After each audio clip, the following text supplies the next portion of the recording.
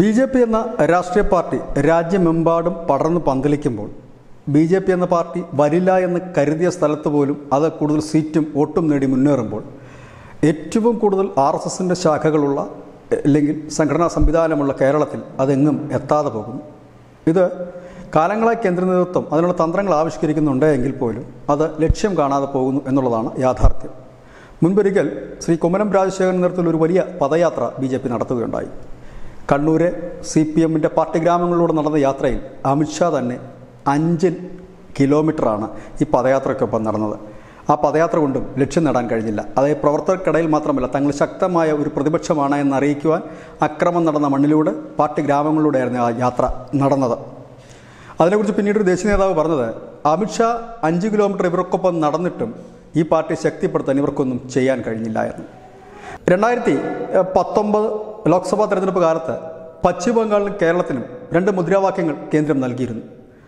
പശ്ചിമ ബംഗാളിൽ നൽകിയ മുദ്രാവാക്യം ജയ് കാളി ജയ് ശ്രീരാം എന്നായിരുന്നു. കേരളത്തിൽ നൽകിയ മുദ്രാവാക്യം സ്വാമിയെ ശരണമയ്യപ്പ എന്നായിരുന്നു അത് ആകെ വിളിച്ചത് ഒരു തവണ സുരേഷ് ഗോപി മാത്രമാണ്. പക്ഷെ പശ്ചിമ ബംഗാളിൽ ആ മുദ്രാവാക്യം അവിടുത്തെ പ്രവർത്തകരും നേതാക്കളും അനവധി വട്ടം വിളിച്ചു. കാരണം ആ ജയ് ശ്രീരാം എന്നുള്ള മുദ്രാവാക്യം ആ വിളി കേൾക്കുമ്പോൾ മമതാ ബാനർജി വരുന്നിടങ്ങളിൽ കൂടി നിന്നുകൊണ്ട് പ്രവർത്തകർ ജയ് ശ്രീരാം വിളിക്കുകയും ആ ജയ് ശ്രീരാം വിളി കേൾക്കുമ്പോൾ മമതാ ബാനർജി വയലന്റ് ആകുകയും ചെയ്ത പതിനായിരക്കണക്കിന് വീഡിയോകൾ സോഷ്യൽ മീഡിയയിലുണ്ട് കാരണം മമതാ ബാനർജി എവിടെ എത്തുന്നു? അവിടെ ബി ജെ പിയുടെ പ്രവർത്തകരും അണികളും കൂട്ടമായി ചെല്ലുകയും ജയ് കാളി ജയ് ശ്രീരാം വിളിക്കും. എന്തുകൊണ്ടാണ് ജയ് കാളി ജയ് ശ്രീരാം എന്ന് ചോദിച്ചാൽ കാളിദേവി ഭക്തരാണ് ബംഗാളികൾ. അവർക്ക് ശ്രീരാമിനെ പെട്ടെന്ന് അങ്ങോട്ട് ഉൾക്കൊള്ളാൻ പ്രയാസകരമാണ്. അതുകൊണ്ടാണ് അവിടെ ജയ് കാളി ജയ് ശ്രീരാം എന്ന മുദ്രാവാക്യം കൊടുത്തത്. ആ മുദ്രാവാക്യം വലിയ ഹിറ്റായി മാറുകയും എന്തിനേറെ യു പിയിൽ മമതാ ബാനർജി വന്നപ്പോൾ അവിടെ പോലും സാധാരണപ്പെട്ട ജനങ്ങൾ അവരെ കണ്ടപ്പോൾ ജയ് ശ്രീരാം വിളിക്കുകയും അവിടുന്ന് അവർ വയലന്റായി ഈ ആൾക്കൂട്ടത്തിന് നേരെ നോക്കുന്ന ആ ഒരു ദൃശ്യങ്ങൾ ഇപ്പോഴും സോഷ്യൽ മീഡിയ അവൈലബിൾ ആണ്. പക്ഷേ അതേപോലെ തന്നെ കത്തിക്കാൻ പറ്റുന്ന ഒരു മുദ്രാവാക്യമായിരുന്നു സ്വാമി ശരണമയ്യപ്പ. അതും ശബരിമല പ്രക്ഷോഭം കത്തി നിന്ന സമയത്ത്. ഒരാൾ പോലും വിളിച്ചില്ല. സുരേഷ് ഗോപി മാത്രമാണ് തിരഞ്ഞെടുപ്പിൽ അത് ഒന്ന് വിളിച്ച ഒരു നേതാവ് എന്ന് പറയേണ്ടി വരും. അങ്ങനെ കേന്ദ്രം എന്തൊക്കെ പദ്ധതികളാണോ കേരളത്തിൽ പാർട്ടി വളർത്താനായി ഞാൻ ഈ പറഞ്ഞതൊരു ചെറിയ ഉദാഹരണം മാത്രം അനവധി പദ്ധതികൾ കൊണ്ടുവരുമ്പോഴും അത് മുൻപോട്ട് നീങ്ങുന്നില്ല. മറ്റു പാർട്ടികളിൽ നിന്ന് അനവധി നേതാക്കൾ എത്തുമ്പോഴും അവർ ഈ പാർട്ടിയിൽ തഴയപ്പെടുന്നൊരു തോന്നൽ ആ വരുന്ന നേതാക്കൾക്കും അവരുടെ പാർട്ടിക്കും ഉണ്ടാകുക സ്വാഭാവികം. അതായത് ഞണ്ടുകളുടെ ഒരു ലോകമാണ്.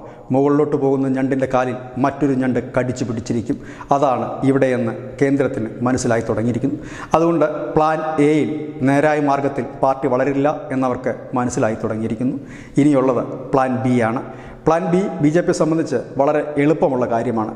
നമ്മളതിനെ ഓപ്പറേഷൻ ലോട്ടസ് എന്നൊക്കെ പറഞ്ഞ് പല പേരിൽ നമ്മൾ പലപ്പോഴുമായി വാർത്ത ചെയ്തിട്ടുള്ളതാണ്. കേരളത്തിൽ മാത്രം അവരത് നടപ്പാക്കിയെടുത്തില്ല. ഇപ്പോഴവർ ആ ഒരു രണ്ടാം ഘട്ടത്തിലേക്ക് കടന്നിരിക്കുന്നു.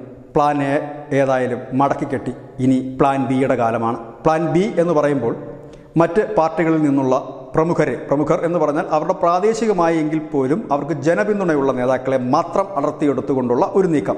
അതായത് വരുന്ന എല്ലാ നേതാക്കളെ ഉൾക്കൊള്ളുക എന്നുള്ളതല്ല ഇത് അവർ പലപ്പോഴും ഉത്തരേന്ത്യൻ സംസ്ഥാനങ്ങളിലുമൊക്കെ കൃത്യമായി തന്നെ ഉപയോഗപ്പെടുത്തി വിജയിച്ചിട്ടൊരു തന്ത്രമാണ്. അതായത് പ്രാദേശിക അടിസ്ഥാനത്തിലാണെങ്കിൽ പോലും ഒരു പ്രാദേശിക നേതാവാണ് വരുന്നതെങ്കിൽ ആ പ്രദേശത്തുള്ളവരുടെ ജനപിന്തുണ കുറച്ച് പേരുടെങ്കിലും ജനപിന്തുണയുള്ള നേതാക്കളെ മാത്രം ഉൾക്കൊള്ളിച്ചുകൊണ്ട് മുൻപോട്ട് പോവുക.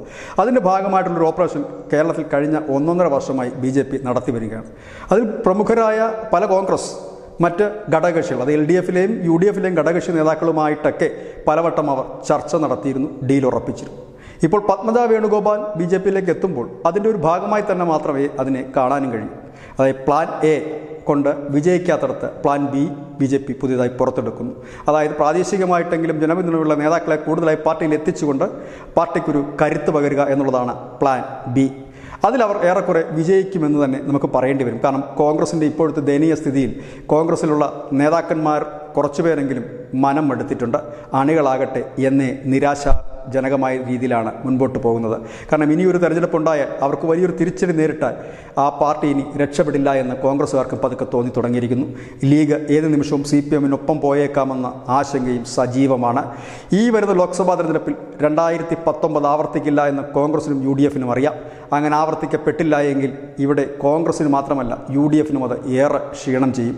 യു ഡി എഫ് നയിക്കേണ്ട കോൺഗ്രസിന് മുകളിലാണിപ്പോൾ ലീഗ് അവരുടെ കാര്യങ്ങൾ തീരുമാനിക്കുന്നത്. ഇതൊക്കെ അണികൾക്കിടയിലും വലിയ അസ്വസ്ഥത ജനിപ്പിച്ചിട്ടുണ്ട്. ഈ തെരഞ്ഞെടുപ്പിൽ അവർക്ക് ഒരു പതിനഞ്ചോ പതിനാറോ സീറ്റ് കിട്ടുകയാണെങ്കിൽ ആ നിലയിലേക്ക് അവർ ഒതുങ്ങുകയാണെങ്കിൽ കോൺഗ്രസിനുള്ളിൽ വീണ്ടും പടലപ്പിണക്കങ്ങൾ രൂപം കൊള്ളും.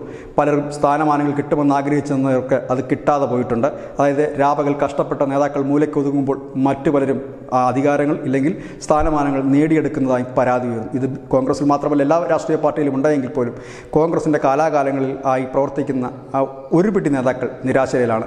ഒട്ടുമിക്ക അണികളും കാരണം ഭരണം ചരിത്രത്തിലില്ലാത്ത വിധം രണ്ട് തവണയായി അതായത് പത്ത് വർഷത്തിൽ ഏറെയായി കേന്ദ്രത്തിലും കേരളത്തിലും ഭരണമില്ല. കതറിട്ട് പുറത്തിറങ്ങിയാൽ പിണറായിയുടെ പോലീസ് കൈവെക്കുമെന്ന അവസ്ഥയാണിന്ന് പല നേതാക്കൾക്കുമുള്ളത്. പഴയതുപോലെ പ്രചരണത്തിനിറങ്ങാൻ കയ്യിൽ പണവുമില്ല. അങ്ങനെ ആകപ്പാടെ ഞെങ്ങി ഞെരുങ്ങിയാണ് കേരളത്തിലേതടക്കം കോൺഗ്രസ് മുൻപോട്ട് പോകുന്നത്. അത് കേരളത്തിന്റെ മാത്രം പ്രശ്നമല്ല ദേശീയ അടിസ്ഥാനത്തിൽ തന്നെ കോൺഗ്രസ്സിന് വലിയ രീതിയിലുള്ള സാമ്പത്തിക ഞെരുക്കം അനുഭവപ്പെടുന്നുണ്ട്. കർണാടക പോലെയുള്ള ചില സംസ്ഥാനങ്ങളിൽ അധികാരമുള്ളത് കൊണ്ട് മാത്രം എല്ലാവരും ചെറുതായി ചായ കുടിച്ച് ജീവിക്കുന്നു എന്ന് മാത്രം. ഇങ്ങനെയാണ് കാര്യങ്ങളുടെ പോക്ക്. അതുകൊണ്ട് തന്നെ ബി ജെ പിക്ക് അധികം പണിപ്പെടേണ്ടി വരില്ല. ഓപ്പറേഷൻ ലോട്ടസിന് തയ്യാറെടുക്കുവാനും ഇല്ലെങ്കിൽ ഈ നേതാക്കളെ ചാടിക്കുവാനും വലിയ വലിയ ഓഫറുകൾ കൊടുക്കേണ്ടതായും വരില്ല. കാരണം ഇവരൊക്കെ എങ്ങനെയെങ്കിലും മുൻപോട്ട് പോകണമെന്ന് ആഗ്രഹിക്കുന്നവരാണ്. അവർക്കിനി സി പി എമ്മിലേക്ക് മടങ്ങാൻ കഴിയില്ല. പകരം അവർക്ക് ബി ജെ പിയെ മാത്രമാണ് ഇനി ആശ്രയിക്കാനുള്ളതും. അതുതന്നെയാണ് ബി ജെ പി ലക്ഷ്യമിടുന്നതും. ഒപ്പം തന്നെ ഈ യു ഡി എഫിലും എൽ ഡി എഫിലുമുള്ള ചില ഘടകകക്ഷി നേതാക്കളെ കൂടെ വരും ദിവസങ്ങളോ വരും നാളുകളിലോ B J P B J പിയിലേക്ക് എത്തിക്കാനുള്ള ശ്രമമാണ് നടത്തി വരുന്നത് അവരുടെ ലക്ഷ്യം ഈ ലോക്സഭാ തെരഞ്ഞെടുപ്പല്ല. രണ്ടായിരത്തി ഇരുപത്തി ആറോട് നടക്കുന്ന നിയമസഭാ തെരഞ്ഞെടുപ്പ് തന്നെയാണ്. അതിനു മുമ്പ് ഒരു ട്രയൽ റണ്ണുണ്ട് അതാണ് പഞ്ചായത്ത് തെരഞ്ഞെടുപ്പ്. ആ ട്രയൽ റണ്ണിൽ ഈ നേട്ടമുണ്ടാക്കാനായിട്ടാണ് ഈ പ്രാദേശിക നേതാക്കളെ ആദ്യം അവർ ഉപയോഗപ്പെടുത്തുക. പിന്നീട് നിയമസഭയിലേക്ക് ഒരു സംഖ്യ രണ്ടക്കം എന്നുള്ളൊരു സംഖ്യയിലേക്ക് എത്തിക്കുക. അത് തന്നെയാണ് ബി ജെ പി ലക്ഷ്യമിടുന്നത്. ഇതേ രീതിയിലാണ് പോക്കെങ്കിൽ ആ ലക്ഷ്യം കൈവരിക്കാൻ അധികം കാലതാമസം ഉണ്ടാകില്ല കാരണം ഇപ്പോൾ നടക്കുന്ന പല മാറ്റങ്ങൾ അതായത് പാർട്ടിയിലേക്ക് പുതിയതായി എത്തുന്ന പലരെക്കുറിച്ചും സംസ്ഥാന നേതൃത്വത്തിന് വലിയ അറിവില്ല എന്നാണ് കേട്ടുകേഴ്വി അതായത് സംസ്ഥാന നേതൃത്വം അറിയാതെ തന്നെ കേന്ദ്രം അവിടെ ഇരുന്നുകൊണ്ട് തന്നെ പലതും നടത്തുന്നു. ഏതായാലും പി സി ജോർജ് വന്നപ്പോഴും നാം ഇത് കേട്ടതാണ്. ഇപ്പോൾ പത്മജ വേണുഗോപാൽ വരുമ്പോഴും സംസ്ഥാന നേതൃത്വത്തിന്റെ അറിവോടെയല്ല ഇത് വന്നതെന്നാണ് അറിയുന്നത് ഇനി പലരും വരുമായിരിക്കും ഇങ്ങനെ. ഇങ്ങനെ വന്ന് വന്ന് പാർട്ടി കുറച്ചിടങ്ങളിലെങ്കിലും സജീവമായി മുൻപോട്ട് പോകും. ജനകീയമായ മുഖങ്ങൾ പലയിടത്തും തെളിയട്ടെ. അങ്ങനെയെങ്കിലും താമര വിരിയട്ടെ. ഇത് തന്നെയാണ് ന്യൂസിന്റെ അവരുടെ പോയിന്റ് നന്ദി നമസ്കാരം.